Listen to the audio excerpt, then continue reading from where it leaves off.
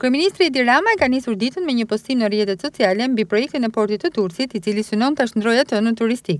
Ai ka shpërndarë një video ku shihet se si do të shndërrohet ky port, shoqëruar me fjalët.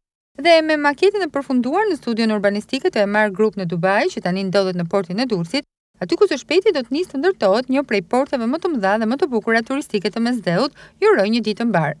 Ky projekt do ta shndërrojë këtë pikë strategjike në marinë, ndërsa më herët janë publikuar në media edhe dokumente sipas të cilëve, kompania që do të përfitojë qindra hektarë tokë shtetërore falas në portin e Durrësit, vjen nga ishujt Kejmen dhe është themeluar vetëm pak muaj më parë.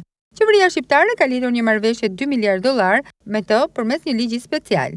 Zyrtarisht, qeveria ka paraqitur si zhvillues dhe financues të projektit, themeluesin e grupit arab Emaar. Por me sa duket, Alabar ka vendosur që të vijë në Shqipëri jo përmes këtij grupi, por me kompani offshore nga ishujt Kejmen.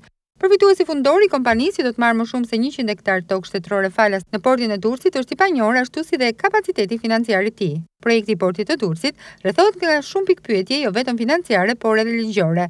Regjistrimi offshore i kompanive që do të financojnë dhe realizojnë projektin i shton edhe më shumë këto dritëhije, ndërkohë që ligji special i qeverisë për portin e Durrësit ka shkaktuar jo pak shqetësim edhe te Bashkimi Europian.